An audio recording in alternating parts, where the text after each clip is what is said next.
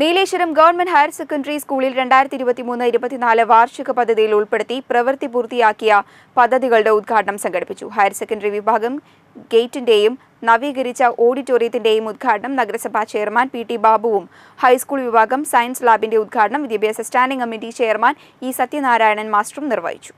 Nileshwaram government higher secondary സ്കൂളിൽ മുക്കം നഗരസഭ രണ്ടായിരത്തി ഇരുപത്തി മൂന്ന് രണ്ടായിരത്തി ഇരുപത്തിനാല് വാർഷിക പദ്ധതിയിൽ ഉൾപ്പെടുത്തി പണി പൂർത്തീകരിച്ച പദ്ധതികളുടെ ഉദ്ഘാടനമാണ് ഉത്സവാന്തരീക്ഷത്തിൽ നടന്നത്. ഹയർ സെക്കൻഡറി വിഭാഗം ഗേറ്റിന്റെയും നവീകരിച്ച ഓഡിറ്റോറിയത്തിന്റെയും സയൻസ് ലാബിന്റെയും ഉദ്ഘാടനമാണ് നടന്നത്.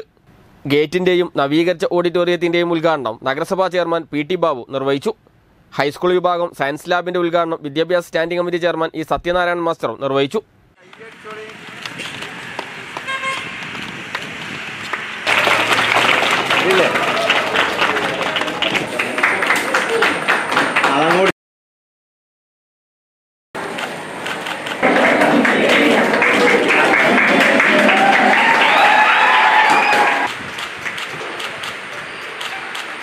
ഡിവിഷൻ കൗൺസിലറും പി ടി എ പ്രസിഡന്റുമായ എം കെ യാസർ അധ്യക്ഷനായി.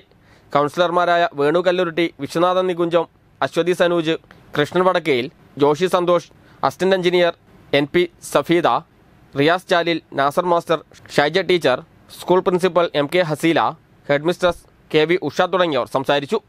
News bureau Mukkam.